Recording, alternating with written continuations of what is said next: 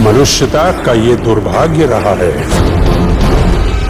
कि कई बार शक्तियाँ अशुभ के हाथों में गई है।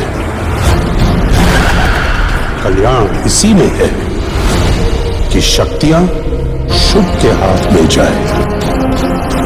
गभीर सागर गर्भांतर इलोक महिमान्वित महाशक्ति युता राम भारत संकट में है। रुधिरमणि निरीक्षण। शतसहस्रवर्ष सुदीर्घ निरीक्षण।